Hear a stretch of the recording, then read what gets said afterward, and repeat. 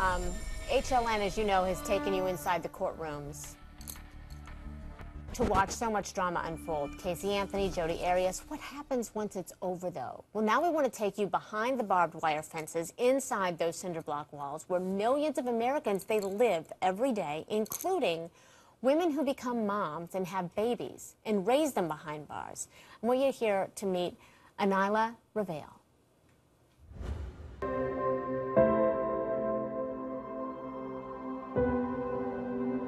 My name is Anael, and I'm 28 years old. I grew up between Queens and Brooklyn. When I turned 18, I moved upstate to Syracuse after I had my first child. I lived in Syracuse for three years, and then I got arrested and came to jail. So I actually got in trouble first and then found out I was pregnant. And I decided to keep the baby. I got sent back to Bedford and crossed my fingers and prayed that I would get accepted to the nursery, which I did eventually. I had her, and it's been great ever since.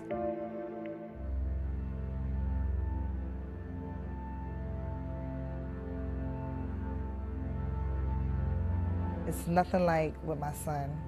I'm saying this in a good way, kind of, because, like, with my son, I had to work, you know, and I had to go to school, and I had to do all these things. So it's like, yeah, I was a mother to my child, but I didn't have the time to sit home with him. You have to work out there. And it's like here, even though we go to program, I have more time to, you know, do things with her. Things that I never thought about doing, like I breastfed her, I sit down with her for breakfast, lunch, and dinner. These are the little perks of being, you know, here with your baby. I take advantage of all those things. I have a better bond with her because I'm here, because, you know, we go to program in the morning from 8 to 11 we come back for the count. You know, I have that time for her. At home, you know, you can't go back home on lunch and sit down with your child. Then we go back to program from 1 to 4. And then that's it. We're done for the day. We're here with our child. We get to eat dinner.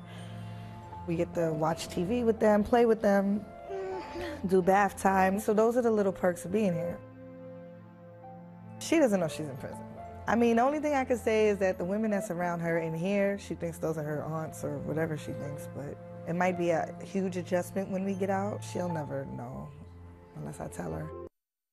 We just can't take our eyes off that beautiful baby. Uh, we wanted to know how Anael was doing. So I spoke with her just a little bit ago uh, about her and her daughter, Rain. They're living in transitional housing. She's trying to find a job. She wants to go back to school and become a social worker. And listen to what she said about life outside prison and how having her daughter behind bars actually changed her. I've been I've been out. I'm going on eight months out, and um, it was very hard when I first got out adjusting. You know, people think that you know you're free and it's just like glitter and gold, and that's not the case. Especially coming home with a baby. Um, for one, I had to readjust and reacclimate to society, and then she also did too. She was petrified of cars, um, loud things, the leaves blowing down the street like freaked her out kind of because she was 17 months old and she wasn't exposed to that. When I got pregnant with my daughter and I had my daughter with me, it just it changed everything. Like it made me it softened me kind of. It made me it made being a mother real because my child is with me, you know? Like and it just it made it gave me something to look forward to. Like I wanted her to have better than my son. I wanted to it like motivated me. I wanted to come home and I'm like, you know, I'm never going to put myself in this situation again and I'm definitely not going to put her through any situation where we have to be separated.